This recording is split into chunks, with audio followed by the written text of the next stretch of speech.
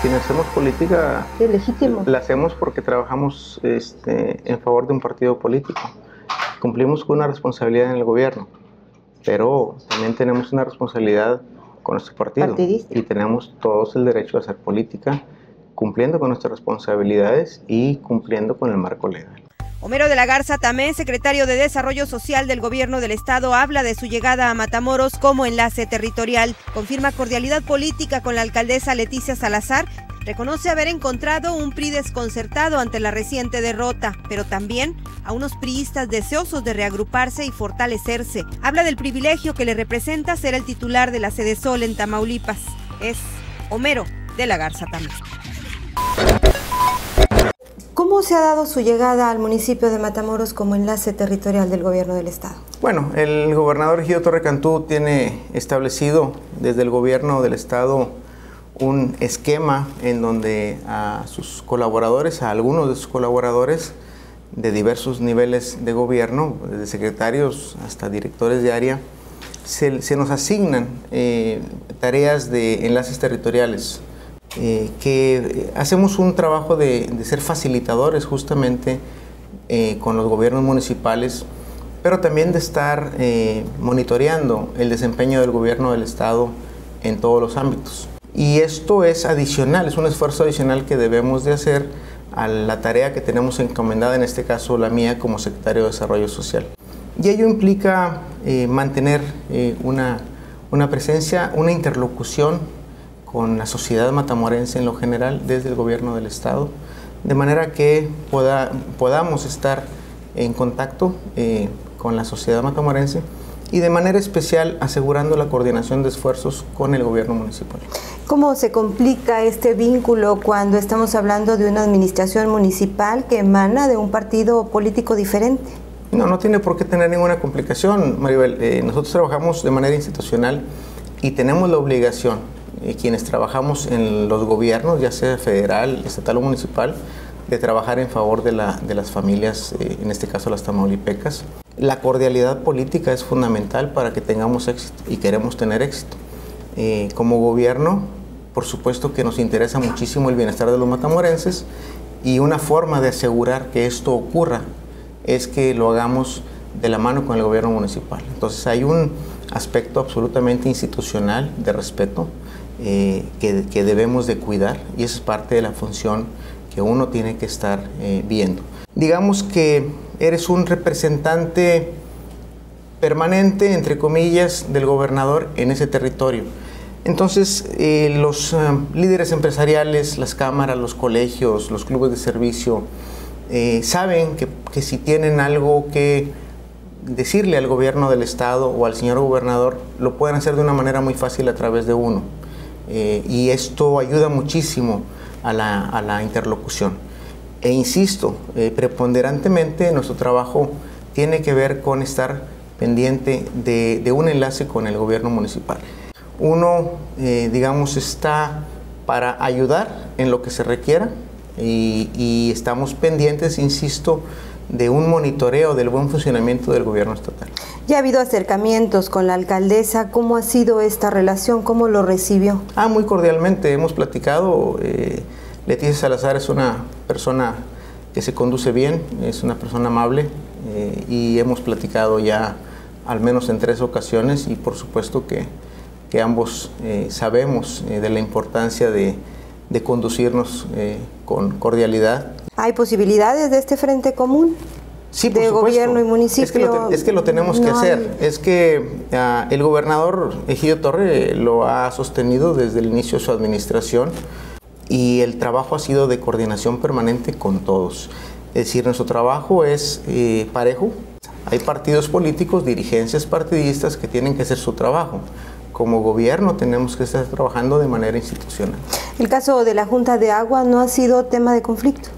Eh, no tiene por qué serlo. La Junta de Aguas y Drenaje es un organismo público descentralizado que está regido por un consejo de administración en donde se toman las decisiones. Y la presidenta, de hecho, eh, la presidenta municipal es la presidenta del consejo de administración y ella lo preside. Entonces, cualquier cuestión de la Junta de Aguas y Drenaje que tenga que ser eh, dirimida, acordada, de directrices, de políticas de trabajo, bueno, de acuerdo a, los preceptos legales, en el Consejo de Administración se, estarán viendo. Entonces, en ese sentido, no tampoco tiene por qué haber ningún conflicto. La designación de la diputada de la Manrique como parte del Consejo de la Junta de Agua, siendo ella priista, generó cierta inconformidad y ella misma lo externó.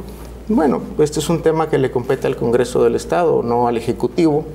Y bueno, si hay algún tema en ese sentido, por supuesto que en el seno del Congreso eh, se, tiene que, se tiene que plantear esto. No es un asunto, insisto, que competa al Poder Ejecutivo. Hay cambios también en la conformación de lo que son las presidencias de colonia. Em, ¿Cómo ve usted este, e, este panorama que se va a presentar con esto? Yo lo veo muy bien en el sentido de que siempre tiene que haber un procedimiento democrático y siempre le estamos apostando que haya democracia en cualquier elección. Somos un país que tenemos que fortalecer la democracia y esta tiene que ir hasta las colonias. Entonces, por supuesto, siempre estamos atentos y confiando en que los procedimientos que se sigan sean democráticos, en donde los colonos eh, puedan de manera libre, eh, organizada, pues elegir a sus directivos. Lo comento porque finalmente esta estructura de presidentes de colonia, bueno, pues también trabaja con gobierno del Estado. Cada gobierno tiene prerrogativas y en ese sentido tenemos que respetar el trabajo que hacemos cada quien. Eh, insisto, si como gobierno del Estado tenemos el derecho de hacer ciertos procedimientos, como el mismo Congreso tiene el derecho de llevar a cabo sus procedimientos, pues creo que no, no debe ser un punto de conflicto. Eh, y nosotros siempre le vamos a apostar, por supuesto, a que las elecciones sean democráticas. Es importante porque eh, todos los ciudadanos pues merecen nuestro respeto. Usted viene de ser enlace en Tampico, en donde también eh, gobernaba el Partido Acción Nacional, en donde también era, era una mujer la que gobernaba. ¿Qué diferencia ha visto entre Tampico y Matamoros ya en este primer mes? Cada municipio de Tamaulipas tiene su propia realidad cada municipio es diferente, la gente de cada municipio es diferente. Tenemos un, factor común todos los tamaulipecos, que somos gentes valiosas, de eso estoy convencido. Pero en cada municipio vamos a encontrar características distintas. Por supuesto que Matamoros tiene su propia realidad y uno viene a adaptarse y a sumarse al esfuerzo de los matamorenses. Uno toma como enlace territorial un interés especial por el desarrollo del municipio que te asignan como enlace. Trago mi trabajo en el Estado, pero de manera especial, al ser enlace Matamoros, de manera automática focalizo eh, una atención especial en Matamoros en cuestión de estar viendo que las cosas caminen correctamente. Pero siempre que llegas a, un municipio, eh, de manera natural, o al menos así lo voy yo, busco comprender el pensamiento de la sociedad a donde llegas y buscas adaptarte y sumarte en todo caso a la dinámica que tiene un municipio. Pero Matamoros es su tierra, aquí nació. Claro, claro, y me gusta muchísimo y por supuesto siempre hay un cariño especial porque bueno, pues es, efectivamente aquí me tocó nacer hace una buena cantidad de años. ¿Cuál es la realidad de Matamoros? Usted hablaba de que llega a un municipio, bueno, se empapa de alguna manera de la realidad que vive el municipio.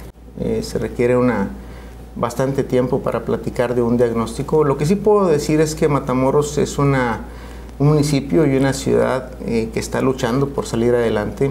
Por supuesto han sido años de apremio, pero no, no es privativo de Matamoros. Estamos conscientes de que, de que Tamaulipas y Matamoros en este caso eh, necesitan seguirse impulsando.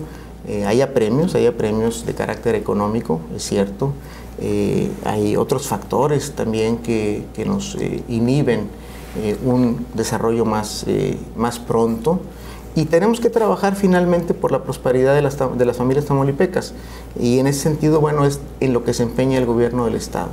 ¿Qué queremos? Que las familias sean felices y en ese sentido tenemos que enfocar eh, todos nuestros esfuerzos.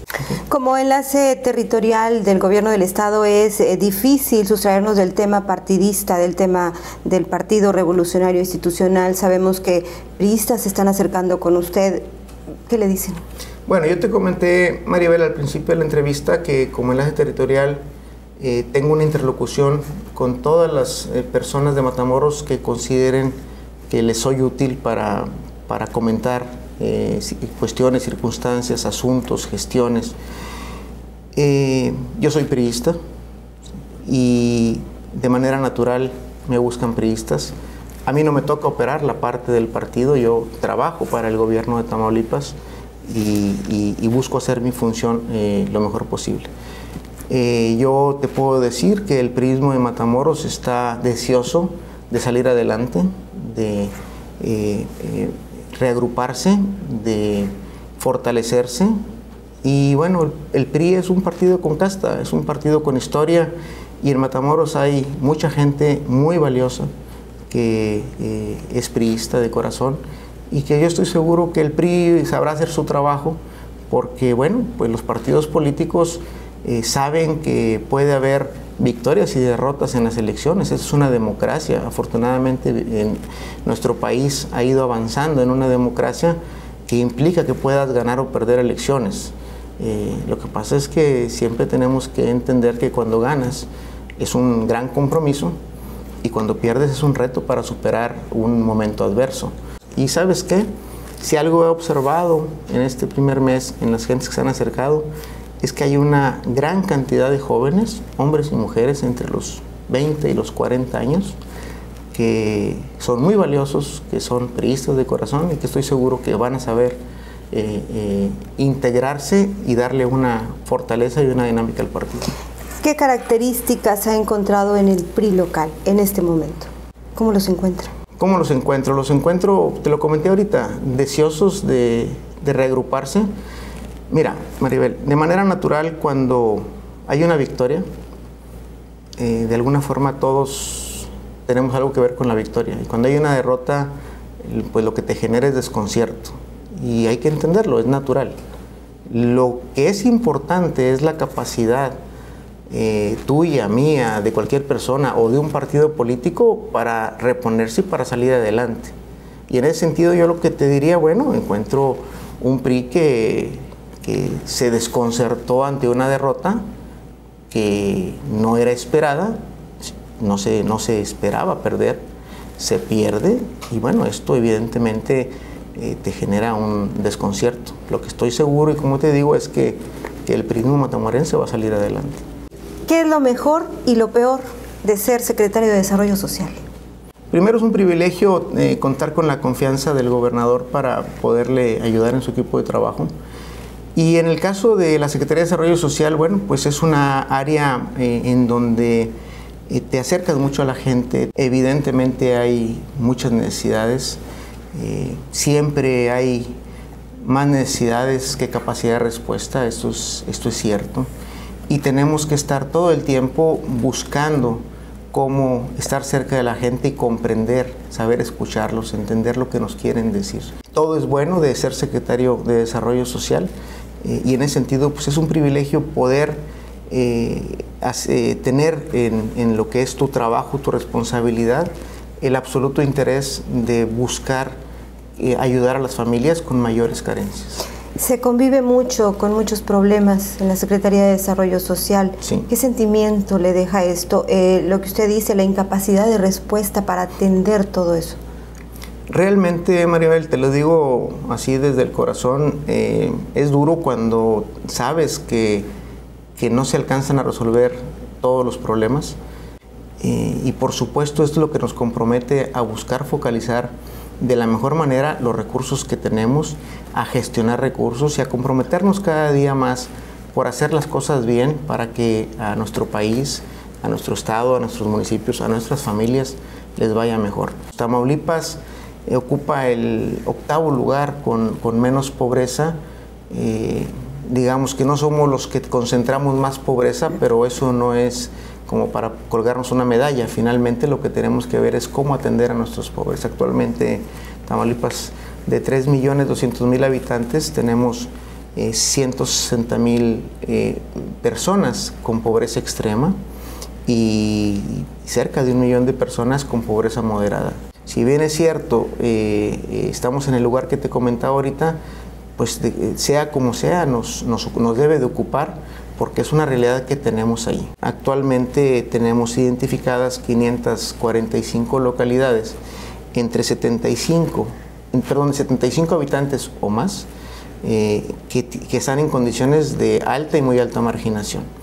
Ah, y ahí es donde tenemos que, eh, por supuesto, ir a focalizar en temas sobre todo de, vivienda para disminuir el hacinamiento y en apoyos que tienen que ver eh, patrimoniales como puede ser los apoyos para la alimentación a través del programa Nutrición Tamaulipas. Entonces, bueno, es parte de lo que tenemos que estar focalizando en cuestión de recursos. Eh, estamos a punto de llegar al tercer informe de gobierno. Eh, ¿cómo, podemos decir eh, el avance o medir el avance del combate a la pobreza? Esto lo mide Coneval. se midió en 2010 y se midió en 2012 y tuvimos avances. Sin embargo, sabemos que el avance debiera ser más rápido pero cuando menos podemos eh, decirnos que estamos en el camino correcto. Coneval es una organización o un organismo que trabaja de manera muy independiente y de hecho ha hecho críticas eh, eh, en, en, ocasiones a políticas incluso del gobierno federal. entonces, bueno, consideramos que son datos confiables y lo que nos dice esto, estos datos, este comparativo, es que eh, vamos mejor. También hubo un resultado que se emitió para ver 2005-2010 y también hubo avances eh, siempre positivos eh, en coberturas de agua, de drenaje, de electrificación. Entonces, sí estamos avanzando, por supuesto, pero bueno, así fuera una familia la que tiene un problema de pobreza extrema, nos debe de ocupar. Una pregunta más personal. Dicen por ahí que el secretario de Desarrollo Social tiene muy mal carácter. ¿Sí es? No, no. ¿Dicen la verdad? No, no. Eh, soy una gente muy exigente, eh, pero comienzo por exigirme a mí mismo. Creo que creo que los ambientes de trabajo que se generan a mi alrededor son buenos. Los más cercanos, más cercanos, a lo mejor le sufren un poquito más porque son los que estamos cotidianamente rebotando las, las ideas y las, eh, las encomiendas y las tareas y todo esto.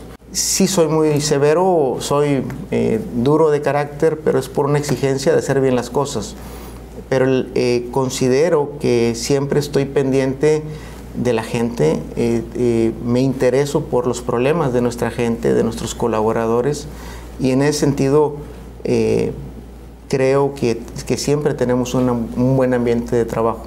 Eh, cada quien tenemos nuestra manera de dar resultados y, bueno, lo que pasa es que cuando somos perfeccionistas sufrimos un poquito más, nos desgastamos más, es cierto, pero yo creo que cada vez hay que hacer mejor las cosas con menos estrés. ¿Usted está dando resultados? Así se lo ha dicho.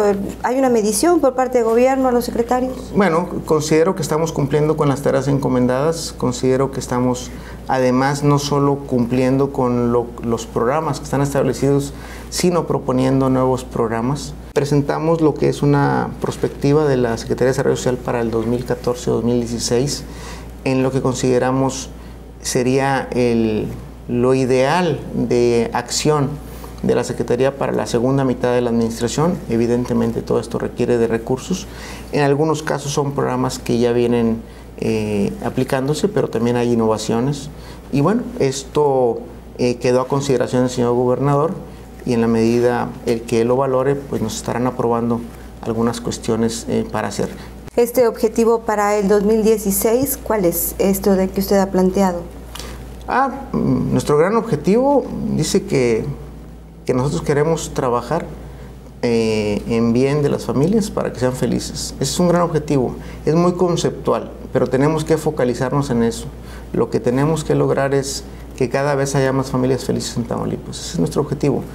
Hay, hay objetivos, eh, eh, digamos, cualitativos y cuantitativos. Lo que tenemos que hacer es ver cómo vamos logrando a través de los años, y esto no es un tema de un, de un sexenio, ¿sí?